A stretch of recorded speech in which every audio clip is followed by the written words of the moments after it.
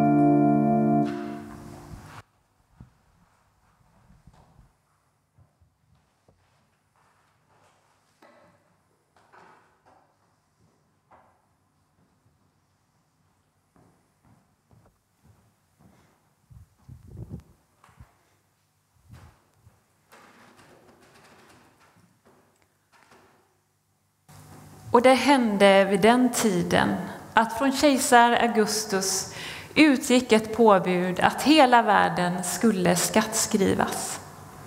Detta var den första skattskrivningen och den hölls när Quirinius styrde i Syrien. Alla gick då för att skattskriva sig, var och en till sin stad. Så reste också Josef från staden Nasaret i Galileen upp till Judeen, till Davids stad som kallas Betlehem, eftersom han var av Davids hus och släkt. Han kom för att skattskriva sig tillsammans med Maria, sin trolovade, som var havande. Medan de befann sig där var tiden inne för henne att föda och hon födde sin son, den förstfödde. Hon lindade honom och lade honom i en krubba eftersom det inte fanns plats för dem i gästrummet. I samma trakt fanns några herdar som låg ute och vaktade sin jord om natten. Då stod en Herres ängel framför dem och Herrens härlighet lyste omkring dem och de blev mycket rädda. Men ängeln sa, var inte rädda. Jag bär bud till er om en stor glädje för hela folket. Idag har en frälsare fötts åt er i Davids stad. Han är Messias, Herren. Och detta är tecknet för er. Ni ska finna ett nyfött barn som är lindat och ligger i en krubba. Och plötsligt var där tillsammans med ängeln en stor himmelsk här som prisade Gud. Ära åt Gud i höjden och frid på jorden bland människor som han älskar.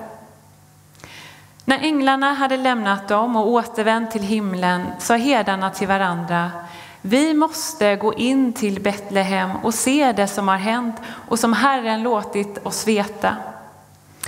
De skyndade iväg och fann Maria och Josef och barnet som låg i krubban. När de hade sett det berättade de vad som var sagt till dem om detta barn. Alla som hörde det förundrades över vad herdarna berättade för dem. Men Maria bevarade och begrundade allt detta i sitt hjärta. Och herdarna vände hem och prisade och lovade Gud för allt de fått höra och se, just så som det hade blivit sagt till dem.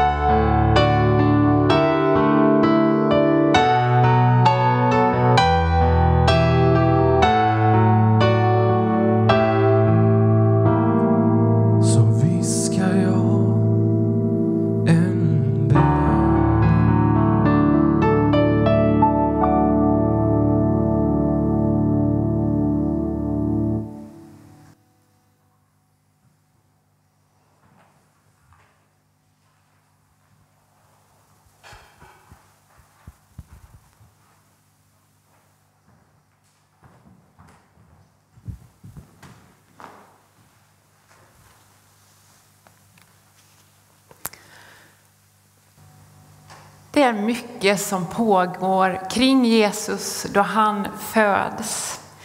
En skattskrivning som sätter människor i hela Syrien i rörelse. Då alla ska skattskriva sig i sin egen hemstad. Och Maria och Josef får ta sig den långa vägen till Betlehem. Gud själv sammanväver historiens skeenden och händelser med sina löften om Messias. Mika profeterar om Betlehem drygt 600 år före Jesu födelse. I Mika 5 och vers 2 kan vi läsa. Men du Betlehem Efrata, som är så liten bland juda tusenden, eller förstar som det också kan översättas. Från dig ska det åt mig komma en som ska härska över Israel. Hans ursprung är före tiden, från evighetens dagar. Vers 4-5. Han ska träda fram och vara en herde i Herrens kraft, i Herren sin Guds namns höghet. Och det ska ha ro, för han ska vara stor till jordens ända och han ska vara vår frid. En kung ska födas i Betlehem, profeterar Mika om 600 år före det faktiskt sker. Betlehem som sågs vara en ganska oansenlig stad, liten bland judafurstar. En plats som ingen räknade något särskilt med. Men en plats som Gud väljer ut för Jesu födelse långt före det sker. Men det är samma stad som kung David kom ifrån, där hans moders till kung. Där föds nu Jesus, han som det också profeteras om som en kung lik David. Men med den stora skillnaden att Jesus, han är före tiden, från evighetens dagar. Det är han som står utanför tid och rum, som gör här nedslag i både tid och rum. Han gör det med en sådan skärpa att ingen människa hade kunnat tänka ut det. För just där och då, när Maria och Josef har trolovats och Maria har blivit havande genom helig ande, så tvingas de att ta vägen från Nasaret i Galileen upp till Betlehem i Judeen. Och så där och då blir det dags för henne att föda. Mika profeterar, från dig Betlehem ska det komma en som ska härska över Israel. Gud sammanväver historiens händelser med sina löften och sin plan. Så mycket mer sker i kulisserna än vad det syns till en början. Planer som verkställs med en sådan detaljrikedom och exakthet att det bara kan vara Gud som är regissör. Utan att veta om det så använder Gud sig av både kejsare och ståthållare när han verkställer sin plan. Och hela himlen är engagerad. Vi firar jul och julen innebär en mängd olika traditioner. De kan skilja sig lite olika åt från familj till familj. Men i de flesta familjer så ska det gärna se likadant ut från år till år. Julbordet har några viktiga ingredienser som bara måste vara där. Kalle Anka ska ses på, julevangeliet vill vi läsa och vissa sånger bara måste vi sjunga den här tiden på året. En tradition som kanske inte är fullt utbredd men som ändå finns där som man kan höra om då och då, det är julpusslet. En del familjer som tar fram ett pussel eh, under julens dagar då alla är lediga och så hjälps man åt Eh, dag från dag och så går man fram där när man har tid och letar efter olika pusselbitar och lägga till i pusslet. På kartongens framsida så finns det en färdig bild på hur det här pusslet ska se ut. Men varje pusselbit är viktig för att bilden ska bli hel. Och på något sätt så är det så här den första julen. Gud lägger det största av alla julpussel. Och han gör sig beroende av både människor, änglar och hela himlen. Gud han sänder ut änglar med budskap till Maria och Josef. Och han gör sig beroende av deras villighet, att de ställer sig villiga. Han sänder ut profeter med budskap som får också ställa sig villiga att profetera århundraden tidigare om vad nu, som, vad nu ska ske. I Gamla Testamentet kan vi läsa omkring 300 profetier om Jesus från den dag han föds till den dag han dör och uppstår. För att nämna några. I Jesaja 7 så läser vi att jungfrun ska bli havande och föda en son. I Jesaja 35 läser vi, han ska öppna de blindas ögon och döva ska få höra. Sakarja 9 och 9, han ska rida in i Jerusalem på ett åsneföl. Kapitel 13, vers 6, han ska bli förrådd av en vän. Och vers Eh, 12 i kapitel 11, han ska bli förrådd för bara 30 silvermynt. I Saltaren läser vi i kapitel 22 om att hans händer och fötter ska genomborras och det ska kasta eh, lott om hans klädnad. En mängd profetier kan vi läsa om som är som pusselbitar där Gud flera hundra år den här, innan den första julen förbereder på när Jesus ska födas. Och när Jesus väl föds så låter Gud en stjärna tändas på himlen som visar de österländska stjärntydarna rätt till den plats där Jesus föds. Och de får komma för att hylla honom. Och jag tänker vilken uppmuntran det måste varit också för Maria och Josef. Vilken bekräftelse på det som de själva nu har fått uppleva. Herdarna får mötas av änglasång. Änglarna som sjunger är åt Gud i höjden och frid på jorden bland människor som han älskar. Hela himlen är engagerad och varje pusselbit läggs på plats en efter en. Mika profeterar, han ska vara en herde i Herrens kraft. De ska ha ro, för han ska vara stor till jordens ändar och han ska vara vår frid. Jesus kommer inte bara till Josef och Maria. Han kommer till en hel värld, han kommer till dig och mig och han kommer med frid och ro. Det är Gud själv som gör nedslag i historien. Han som står utanför tid och rum. Han kliver in i din och min verklighet så som den verkligen ser ut. Han ber inte oss att komma till honom.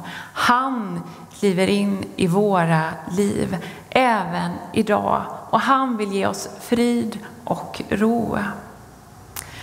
Vi ska nu lyssna till en äldre sång som rymmer textraderna Han kommer till stora, han kommer till små och följer oss sen på den väg som vi går. Gud, han kommer till oss intrasslad i det som är eller som blev våra liv. Julen är för alla, oavsett hur våra liv ser ut så kommer han till oss och följer med oss på den väg som vi går. Han kommer till stora, stora i ålder, stora kanske i världens ögon. Men han kommer också till de små, till barnen, men också till de av oss som kanske inte känner oss så stora eller som världen inte räknar något särskilt med. Gud kommer till alla. Julen är för alla. Och där är du och jag inkluderade.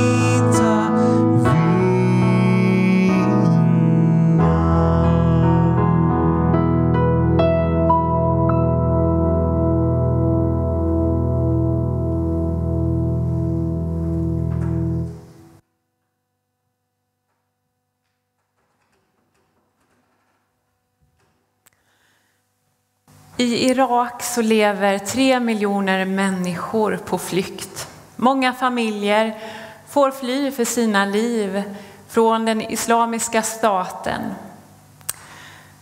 Och man har svårt att hitta sätt att försörja sig.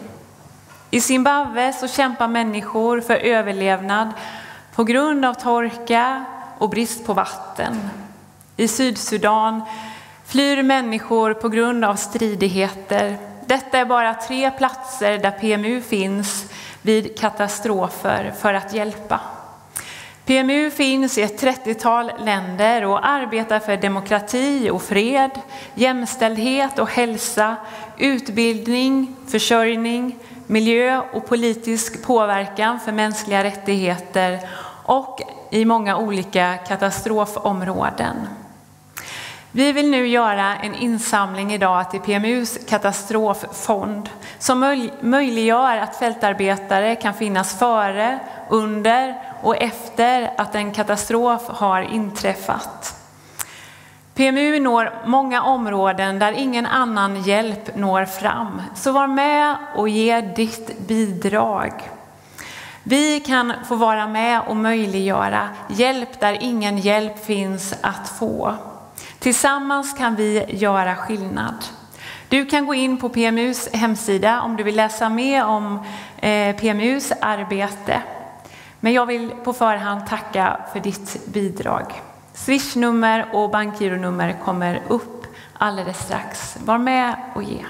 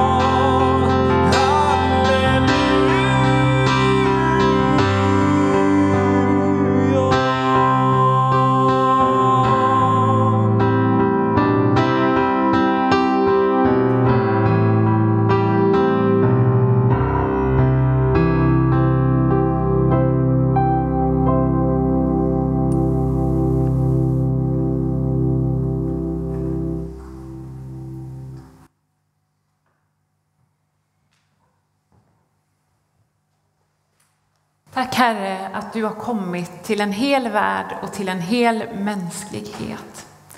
Tack för att du har kommit med ljus och hopp och frid. Tack att det inte finns någon plats på den här jorden som är skymd för din blick. Herre, vi ber att hjälpen ska komma fram där hjälp behövs. Och Herre, jag ber att ingen människa ska få känna sig glömd den här julen. Utan vi ber om din närvaro, om din frid och det hopp som vi har i dig. Tack Jesus att du kommer till oss med en utsträckt hand. Herre, jag ber för oss som lever i vårt land. Kom med frid och kom med ljus och framtidstro. Var med oss var och en där vi sitter och där vi är. Och välsigna de pengar som vi nu har samlat in. Vi ber att det verkligen ska få komma ända fram och komma till välsignelse. Amen. Herren välsignar dig och bevarar dig. Herren låter sitt ansikte lysa över dig och är dig nådig. Herren vänder sitt ansikte till dig och ger dig av sin frid. I Faderns, Sonens och den helige Andes namn. Amen.